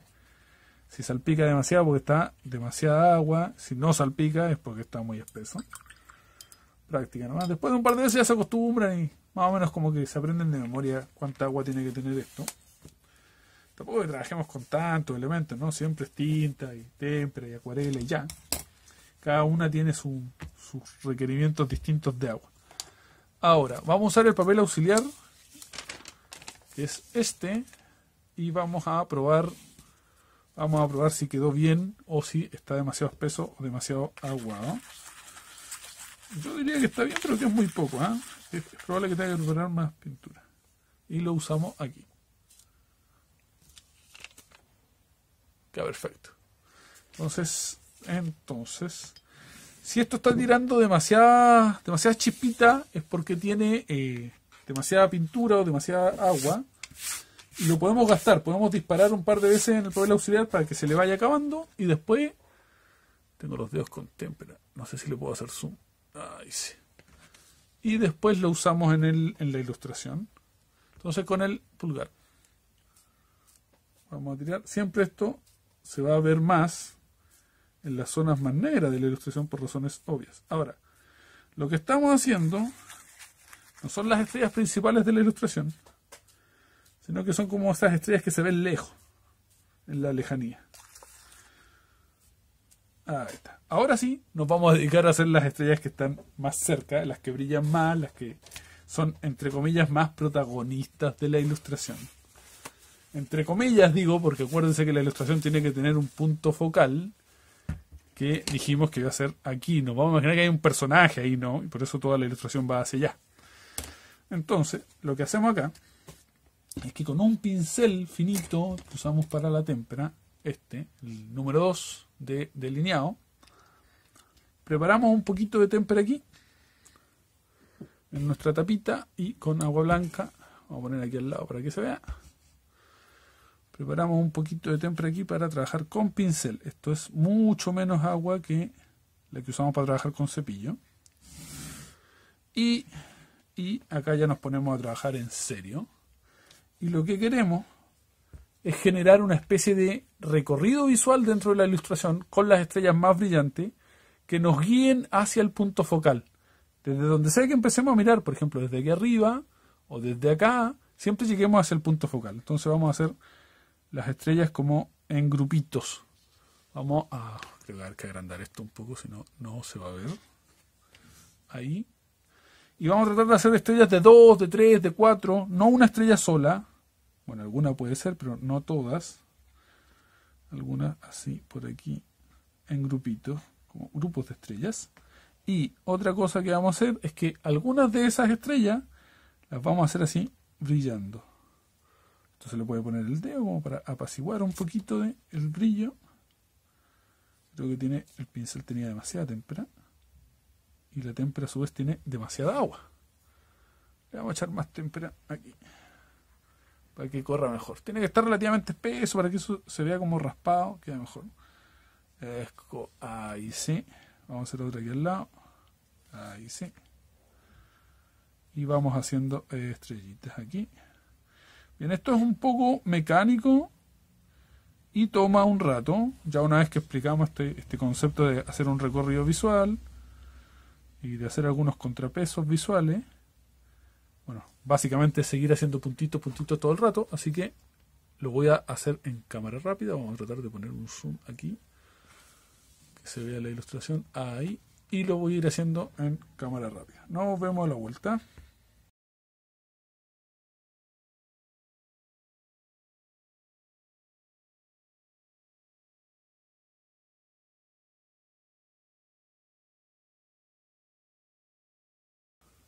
Ok, ahí está. Ahí está nuestro cielo estrellado. Vamos a hacer, vamos a hacer un punto focal aquí, algo. Voy a hacer una esfera con blanco. Porque si no queda, queda rarísimo, porque todo, toda la ilustración apunta hacia acá y acá no hay nada. Ve extraño. Entonces vamos a hacer una esfera que va a, va a simbolizar nuestro punto focal. Eso puede ser, no sé, la cabeza de un personaje, usted quiere un planeta, lo que sea, una nave espacial, lo que usted quiera. Siempre todas las direcciones de la ilustración llevan hacia ese punto. ¿Se fijan cómo hicimos las estrellitas acá y todo? Siempre las estrellas que están sobre zona gris llaman mucho menos la atención que las que están sobre zona negra. Y las que están sobre zona negra siempre van hacia acá. Siempre van hacia allá. Podemos hacer, por ejemplo, un par más aquí y hacemos un recorrido bastante más obvio. No hace falta que sea tan obvio, esto solo va la explicación. Y así funciona. Tenemos listo nuestro cielo nocturno o nuestro fondo cuando trabajamos haciendo alguna ilustración que transcurra en el espacio exterior. Pueden ser robots, pueden ser, qué sé yo, extraterrestres voladores y esa clase de cosas. Toda esa clase de cosas súper entretenidas que basan en la ilustración o en la historieta, que en realidad es un mundo en el que podemos hacer lo que queramos. Así funciona muy bien. Lo siguiente de la lista después de la noche es... ah, ah el último. El último es otra forma de hacer nubes. Que esta es una forma que yo uso mucho. Seguramente si han visto otras clases de este curso o mis ilustraciones en general, me han visto trabajar con este método. Es un método bastante rápido, bastante rápido, que es con este pincel, el pincel eh, maltratado, no, pero este es blanco. Necesito uno en negro. Este. También tengo un pincel maltratado para blanco y no para negro. Vamos a usar el de negro. Y eh, ahora sí con un papel de tinta normal, con el mismo que hacemos en las páginas de cómic, un papel liso, puede ser una pelina lisa o un hilado. Este es un hilado de creo que 140 gramos, 180 gramos, una cosa así. Eh, si es más grueso, mejor. Si no, no pasa nada. La verdad es que esta técnica, este tipo de papel soporta la tinta súper bien. Papel ya de 90 gramos hacia arriba soporta la tinta súper bien. No vamos a usar agua, así que no pasa nada. No necesitamos un papel tan grueso. Si necesitamos un papel más grueso, si queremos vender después del original, tiene mejor presencia, un papel con un mayor espesor, con un mayor gramaje. Mientras más alto el gramaje, mayor el, grosor del papel.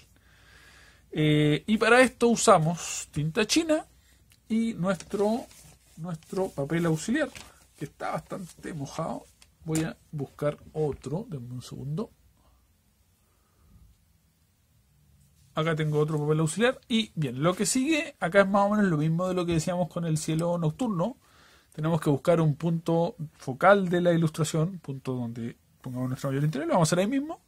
Puede ser un personaje, puede ser lo que sea, que esté ahí y queremos dirigir la atención hasta acá. Entonces, todo lo que rodea ese espacio, tenemos dos opciones. Si la figura es en blanco, el fondo es negro. Si la figura es en negro, el fondo es en blanco. Y el resto lo rellenamos con este efecto raro de hacer nubes. Yo en este caso voy a trabajar con negro. Vamos a hacer nuestra figura ahí. Voy a borrar para que no se confunda esto. Ahí. Ese, ese es mi punto focal. Y quiero que rodee ese punto focal un bloque de negro. Entonces tengo aquí mi punto focal y quiero que esté rodeado por un bloque de negro que puede ser más o menos eso. Acá tomamos en cuenta las mismas, los mismos parámetros, las mismas consideraciones que hablábamos al principio cuando hablamos de hacer nubes, Entonces vamos a imaginar, por ejemplo, que hay una nube aquí, que son nubes circulares, es un cielo muy nublado, muy eh, enrevesado, un cielo como una tormenta, con una tormenta de nubes. Entonces, a ver, una nube sobre otra. Nos imaginamos que es más o menos, más o menos así. Cada una de estas bolas o pelotitas son una nube, y entonces tratamos de entender la iluminación de las nubes como la iluminación de cualquier forma básica. Si esto es una nube, toda esta zona va a estar en luz y esta va a estar en sombra. ¿Se entiende eso? Toda esta zona va a estar en luz y esta va a estar en sombra. Un poco como, como iluminar un racimo de uvas o algo así. Luz, sombra, luz, sombra. Esta dijimos que iba a estar entera en sombra porque es la que nos interesa que rodea nuestro eh, foco de atención, nuestro personaje principal. Luz y sombra, luz y sombra, luz y sombra, luz y sombra. Zona de luz, zona de sombra. Bien, vamos, vamos en algún momento a hacer un curso de iluminación donde vamos a explicar cómo iluminar formas básicas, pero eso a grosso modo todo el mundo lo sabe, ¿no? El, el tema de una esfera, ¿no? Las zonas de luz, las zonas de sombra de una esfera. Insisto, vamos a hacer un curso donde lo vamos a explicar bien y a fondo, pero para esta técnica no hace falta no hace falta saber tanto, con entender que hay una zona de luz y una de sombra, basta y. Ahora sí, tomamos nuestro eh, pincel este maltratado y hacemos, hacemos, ya explicamos cómo usar este pincel, lo explicamos en la clase de, cómo usar los pinceles, de hecho. Explicamos ahí bien eh, todo el tema de cualquier, cualquier pincel. Este eh, en particular es un pincel que yo uso mucho, creo que también hablé de él en la primera clase y acá lo que hacemos es gastarlo, quitarle un poco de tinta. Queremos que el pincel raye así. ¿Sí? Ese, es, ese es el tono que queremos que tenga. Y entonces lo untamos, así que en, Chile le decimos ponceado, no sé cómo se dirá eso en, en otros países, pero queremos generar ese tipo de textura en la zona de transición entre el blanco y el negro. Y vamos ahí, vamos ahí generando eso. Esto, fíjense que tarda de verdad, cinco minutos. ¿eh? Hacemos un fondo en cinco minutos. Cuando el pincel empieza a rayar, como, como yo quiero, como me gusta, sigo solo con los bordes, porque las zonas con mayor bloque de negro sé que las puedo hacer después, cuando vuelva a cargarle tinta al pincel. Entonces aprovecho un poco que tiene como la cantidad de tinta exacta para hacer esa textura que yo quiero y me paso por los bordes, la zona de transición entre blanco y negro. De nuevo lo unto, lo gasto, es el mismo proceso. Ahí tiene demasiado bloque de negro. Demasiado bloque de negro. Esto lo, medio como que lo hemos explicado ya en varios videos. me acuerdo en el video que hablamos sobre la, de la mancha, que es el segundo o tercero de este curso. También hablábamos sobre cómo hacer estos cielos tormentosos. Eh, no sé si lo explicábamos bien con el tema de cómo se hacían las nubes y eso, pero pero bueno, ahí, ahora ya está. Ah, ¿Se ve? ¿Se ve o estoy muy alejado? Está bien, perfecto. Sigo de nuevo repitiendo el, el esquema, unto el pincel, le saco un poco de tinta, busco que tenga la textura adecuada. Cuando me está dando esa textura que yo quiero, aprovecho de recorrer los bordes. Aprovecho de recorrer los bordes y cuando no me da la textura, cuando está con demasiada tinta, recorro las zonas que están en negro dentro de la ilustración. Que son como la parte, entre comillas, ¿no? La parte de abajo de las nubes. De cada nube. Asumiendo que cada nube estuviera una al lado de la otra, de una forma esférica, qué sé yo. Todo esto es teórico. Para darle un marco teórico, una lógica a lo que estamos haciendo. Porque en realidad las nubes no tienen esa forma. Esa precisamente eso es lo lindo de esto, que nos permite, que nos permite jugar, que nos permite llevar la vista hacia donde nosotros queramos. Si de repente nos parece que quedaría mejor con otro bloque de negro ahí, lo podemos hacer, etcétera. Lo podemos hacer porque las nubes no necesariamente tienen esa forma de racimo de uva que yo planteé al principio. Pueden tener cualquier otra forma. Bien, esa zona que nos está quedando es un bloque de negro, así que no me preocupo por el tema de la textura aquí.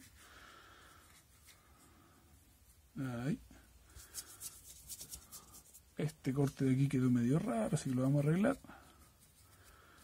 Y ya está, listo, listo este fondo. Vamos a reducir un poquito este blanco de aquí, está demasiado blanco. No me gusta, está demasiado blanco.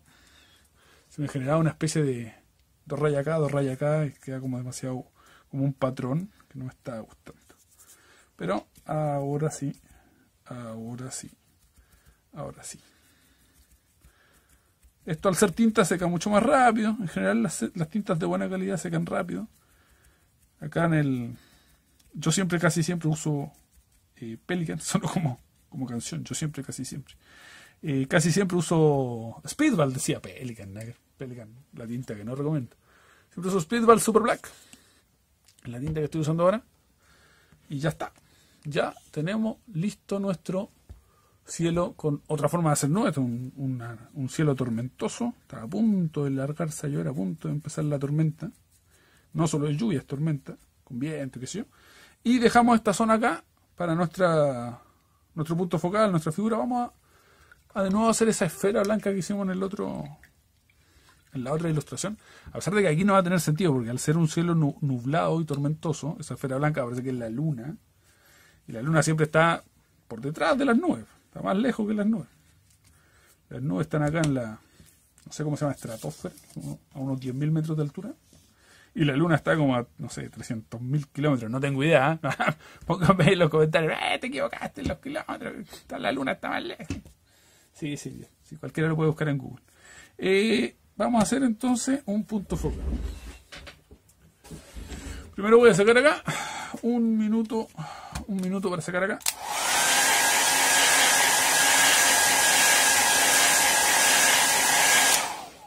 Ya está y vamos a improvisar un punto focal aquí con tempera blanca. Vamos a dibujar una silueta. Una silueta de alguien. Una silueta en blanco. En general no se usa mucho la silueta en blanco, pero una especie de de fantasma con poncho aquí en el, no sé si existe en todo Chile, pero aquí en el sur de Chile está este, este diablo que se aparece con poncho y sombrero en los caminos. Y yo creo que debe estar en todos lados. Se supone que no se le ven los pies por debajo del poncho. Entonces, vamos a hacer ahí nuestro punto focal. ¿Sí? Y ya está. Hicimos un fondo para una ilustración, que bueno, es un cielo nublado, y lo hicimos en 5 minutos que es algo que hemos hecho más o menos todo el rato, todas las ilustraciones. Creo que dimos cinco opciones. Eh, cielo nublado, cielo lluvioso, cielo despejado o con sol, la noche y las nubes, digámosle, tormentosas, no sé cómo llamarlas, estas nubes que hicimos lo último. Cinco opciones de fondo y de formas de hacer el cielo con estas técnicas de entintado raras que enseñamos acá, tintado análogo, con cuchillo y esa clase de cosas raras. Eh, que le aportan variedad al trabajo, y le aportan una característica única, etcétera. Ah, no les estoy diciendo que ustedes hagan exactamente lo mismo y que hagan estas mismas técnicas que cada vez que tengan que dibujar una escena de noche lo hagan exactamente como lo hago yo, etcétera. Pero sí estaría bueno que buscaran, que se fijaran cómo hacer el cielo cuando está de día, cuando está de noche, cuando está... Que le den una vuelta a su propia forma de hacer el cielo. Eh, si tienen más de una opción, mejor. Sobre todo mínimo una para el día y la noche. Y porque eso le va a aportar un montón de, originalidad y de, de, ser único a su trabajo. Y bueno, chiquillos, terminamos. Voy a mostrar los cinco ejemplos que hicimos hoy día. Tres, cuatro, me falta uno, acá está, cinco. Lo vamos a mostrar. Cinco formas de hacer el cielo, rapidito, sin muchas pretensiones. ¿Qué pasa con el cielo que en general si tienen bien resuelto el cielo, tienen resuelto la mitad del fondo, a veces el fondo entero, un día nublado, un día con nubecitas, nubes gorditas como de algodón, un día con sol, se desenfocó esto, ahí sí, entonces una noche estrellada, una noche estrellada, y el último que hicimos una nubes tormentosas, una noche de nubes tormentosas. Y eh, bueno, nada, esta es la clase más, probablemente más personal que hayamos hecho en el curso. Yo sé que mucha gente que quiere aprender a entintar cómic no tiene por qué interesarle cómo hacer el cielo. Pero eh, yo me quería dar este gusto principalmente porque creo que mi trabajo se basa mucho en esto, en este tema de las manchas, de cómo hacer el, la expresividad del, del bloque negro, de la mancha, que sean unos fondos más impresionistas, más no tan detallados, esa clase de cosas. Y en el cielo es donde yo creo que mejor logro eso. Entonces, eh, como digo, me quería dar un gusto con eso para hablar sobre mi propio trabajo también en este curso.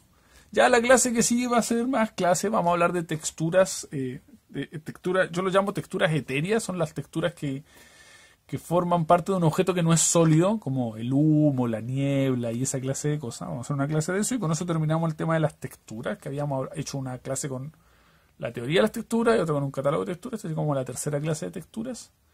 Después queda una última clase o penúltima clase en donde quiero hablar sobre el estilo de entintado, distintos estilos de entintado. Y después viene una última clase que es para cerrar el curso. Y se acaba el curso de entintado. Así que eh, voy a tratar de seguir subiendo una clase a la semana más o menos. Lo vamos a ir intercalando con otras clases de otros cursos.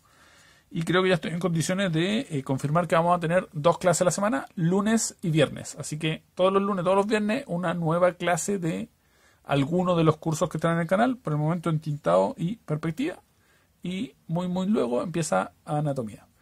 Nos vemos allá, un abrazo, como siempre, recomiende el canal, cuéntele de este canal a alguna persona a la que le pueda interesar, mándeselo por WhatsApp o déjenle un comentario en Facebook, si en algún foro de Facebook están discutiendo sobre cómo se hace tinta, cómo se hace la perspectiva, usted recomiende el canal. Y me va a hacer un gran favor a mí, el canal va a crecer, vamos a ser todos muy felices. Un abrazo, chao.